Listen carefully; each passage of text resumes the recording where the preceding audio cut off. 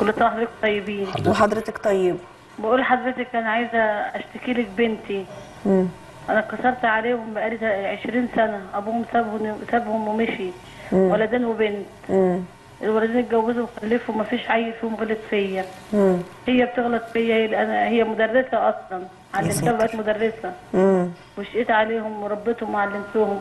بتغلط فيكي ليه؟ بتغلط فيا. أي حاجة قدام الناس تكسفني تشتمني تغلط فيا. هي متجوزة؟ لا والله انسه عندها 27 سنة. مم. وبتغلط فيا بتشتمني أنا أنا بتكسف قدام الناس لما بتحرجني وبتشتمني. ما بتجيش بعد كده تندم وتعتذر لك وتبوس. إيدك وتقول لك أنا آسفة؟ لا والله يا بنتي ما بتقولش والله. مم. ب- بتغلط ليه بقى؟ يعني مثلا احكي لي اي موقف أي كده. حوار كان نتكلم مع بعض بتغلط فيا وصوتها عالي وبتشتمني قدام الناس؟ آه والله. دي مجنونة ولا آه. ولا عاقله لا عاقله طبعا. أصل اللي بيعمل كده المجانين. عاقله عاقله يعني عندها عقلها؟ ما تكشفي أيوة. عليها. وصوتها عالي وأنا بتكسف من صوتي العالي يا بنت ما تعليش صوتك هي يتيمه ولا ولا مطلقة؟ هي ت- لا مش مطلقة. ما اتجوزتش قبل كده. باباها توفى؟ لا باباها مشي بقاله 20 سنة سنة عندها سبع سنين وأنا باباها مش موجود أصلا طلقك طلقك آه. ومشي يعني؟ طلع سابني على ذمة 18 سنة. وبعد كده طلعني غيابي برضه. امم بس. مفيش م- ولا مرة جت قالت لك أنا آسفة حقك عليا وبس ترجع إيه بقى كده ما عملتش أي حاجة. آه وانت لما بتتكلمي معاها وتقولي لها كده وتعيطي لها أو حاجة ما بتحنش؟ لا لا لا والله. امم اديها بل في رجلك. لا لا استني بس. لا، ثانية. طب خلينا بس نرد ثانية بس أنا هقول لها وحضرتك رد بقى. آه. يعني حضرتك- حضرتك رد. أيوه هي تعلي صوتك عليها. ليه ما بتقوميش قلع اللي في رجلك وحتفها بيه وتقول لها إياك تعلي صوتك عليا قدام الناس برضو ما أقدرش والله يا بنتي. ليه ما أقدرش. تقدريش ليه؟ ده متهيألي لو عملت كده تقوم تضربني. طب خليها تقوم تمد ايديها عليكي كده. والله يا بنتي تقوم. والناس حواليكوا والله تقوم يا بنتي هي تكسفك وانت ما ت... وانت ما تقوليلهاش تلمي واحترمي نفسك. بتلاشاها بتلاشاها قدام الناس عشان ما. بتلاشاها؟ لا دي مجنونة؟ لا لو مجنونة تتعالج. أنا كنت أتمنى من الله بنتي دعاء أنا حضرتك هترد. خليني أرد عليها عشان. ماشي يا حاج. بص يا بص يا فضيلة الشيخ هو إحنا متربيين على كده؟ أصل إحنا. متربيين على كده. يعني هو أنا مثلا صوتي أنا صوتي عالي أنا صوتي قد كده أساسا بس أنا أقدر أقدر أزعق لأمي؟ لا. ده ده البصه ما أقدرش. يعني تقول لي ما تعليش صوتك وزعلها؟ ما أقدرش ما أقدرش. فالام الضعيفة ليه الام تبقى ضعيفة كده؟ خلينا- اتفضل حضرتك رد. أنا عايز دايما لا تأخذنا المشاعر تجاه السؤال عشان نعرف نحط الإجابة الصحيحة. الحقيقة إحنا عندي قد يكون هناك مشكلة إن البنت ديك عندها مشكلة نفسية فممكن الأول نبدأ نعملها المعاملة الطبيعية ثم المعاملة المرضية. يعني خلي حاجة تفهم كلامي. الأول المعاملة الطبيعية إن الحاجة ممكن تقاطعها يعني تخاصمها يوم أو يومين أو ثلاثة وبعدين تزق حد من إخواتها عليها عشان أو حد من الناس يزقها ان تروح تصالح مامتها وتعتذر لمامتها. دي طريقة بنعملها أولية لأن ممكن يكون البنت مريضة نفسيا بسبب وقع الطلاق على أمها من الأول فممكن يكون عندها مرض نفسي أو اكتئاب أو ما شابه ذلك من الأمور.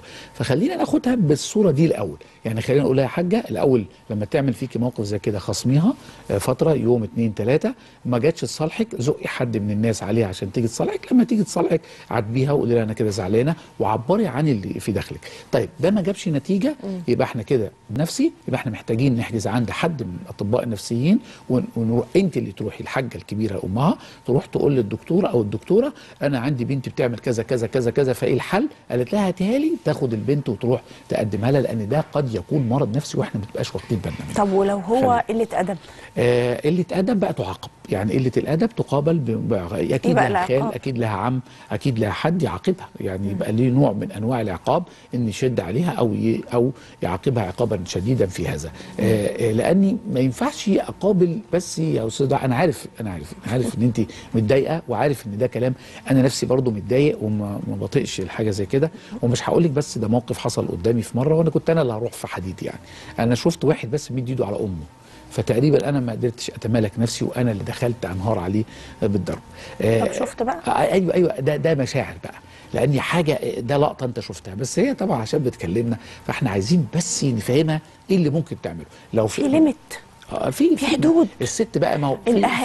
الأمهات الحنية مش معناها مش إنه دي. إن أنا أسيب العيال يد... يتطاولوا. عليا أو يضربوا أو ي... تقول لك هتضربني. طب أنا هقول لك. ده بقى النقطة الثالثة اللي أنا عايز أقولها إن ده ضعف في شخصية الأم نفسها. ما ينفعش، يعني آه. الأم نفسها شخصيتها ضعيفة. فعايزة حد يعني يدعم هذه الشخصية أو يديها نوع من أنواع القوة اللي إحنا بنعمله بقى. إن أنا بقول لها خليكي قوية خصميها يومين ثلاثة ما جاتش الراجلين اللي. مخلفاهم الرجالة س... عندها أولاد ذكور؟ آه ولدين. يبقى هنا الإخوات لما نخاصمهم ونخلي نكلم حد من إخواتنا من إخواتها يع- يعاقبها على كده ويشد عليها ان تيجي تعتذر لك وتبوس على إيدك وراسك.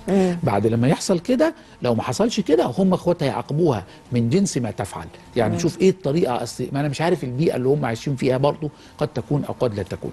أنا مقدر طبعا شعورك إن ده موقف صعب جدا وإن إحنا ما ينفعش نقبل هذا لكن خلينا نحله بطريقة يعني آه، فيها. آه طبعا طبعا يعني ما أنا عارفة.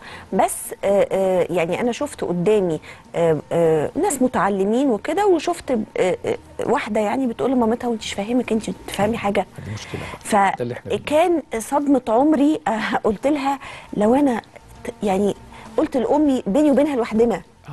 انت فاهمك انت آه. وانت تفهمي آه. بيبقى. لا يمكن أقدر أقول كده وأنا وهي قاعدين في أوضة لوحدينا. وممكن تقاطعني العمر كله وممكن تقولي اطلعي بره. يعني ما أنا ما أعرفش هي ربنا هي عمرها ما ما هوصل للمرحلة دي. فأنا متربية على احترام أمي ده ما أقدرش يعني. فإن واحدة تتطاول قدام الناس كمان ده إهدى. يعني أنا لو أنا عملت كده لا أمي وليها الحق إنها تقلع اللي في رجلها وتحدفني بيها لو قدام الناس. لأنه أنا تعديت حدودي وهزقت أمي قدام الناس لا ده أنا آخد بيت جزمة على دماغي. شكرا جزيلا فضيله الشيخ عندنا فاصل قصير وهنكمل حلقتنا بعد الفاصل.